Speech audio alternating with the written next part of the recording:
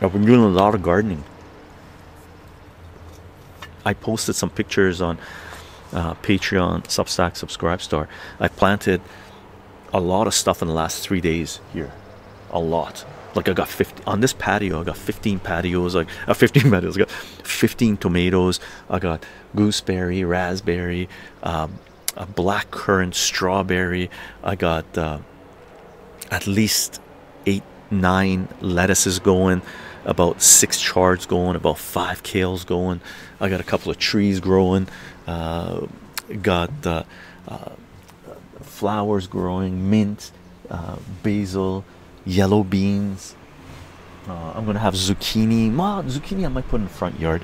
We got parsley. We got uh, dill. Um, we got grapes, of course, going through. Uh, Mar Marigold. We got Der Dernustrum. I can't even pronounce it. We got a couple plant cannabis plants already in. Um. Got uh, Datura.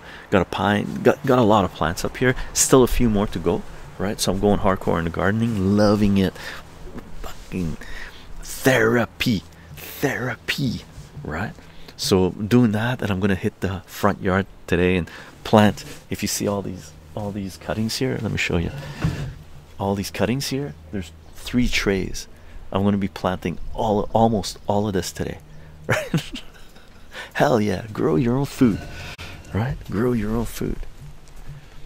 Yeah as much as you can anyway and that's what i'm doing right